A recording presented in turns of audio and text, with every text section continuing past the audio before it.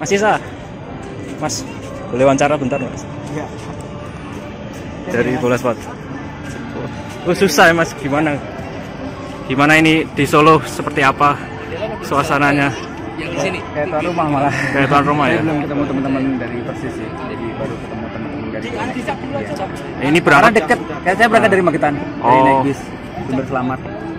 mungkin untuk harapannya untuk Persebaya musim ini seperti apa Mas Isa? Ya sesuai yang ditargetin sama presiden lah juara.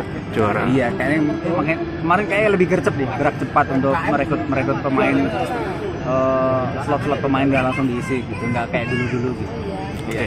Ini Mudah-mudahan berarti yang dibeli sesuai dengan harapan ya. ya pemain baru yang eh, dinantikan siapa nih Mas Isa? Dia kembalinya si 99 tuh. Bruno. Iya Bruno. Oke. Yang dia bisa mengacak-ngacak pertahanan lawan-lawan lagi. Karena tapi kan komposisinya kan udah beda sama yang dulu. Yang dulu kan harus lagi padu lagi. Oke.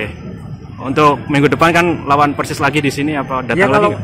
dapat jatah kuota lagi karena deket saya sekarang di Magetan ya saya mungkin datang lagi. gitu. Cuma kan kemarin ada wacana sempat kalau UI kan nggak boleh. Iya. Walaupun, walaupun boleh mungkin ada aturan-aturan mungkin nggak pakai BRC atau gimana mungkin nanti diikutin aja lah. Kan tertib sekarang nih karena kan juga kita ngelihat situasi PSSI udah beda. Iya. Nggak kayak dulu lagi. Kita juga ikutin supportnya ya juga lebih baik juga kan. Ya, harapannya seperti itu. Kalau buat bonek sendiri seperti apa Mas? Eh, harapannya mungkin musim Ya ini? harapannya kemarin lihat ke situasi ke sini juga kemarin udah bisa menerima W dari teman-teman Jack segala macam itu. Mudah-mudahan itu menjadi awal yang baik buat semuanya lah.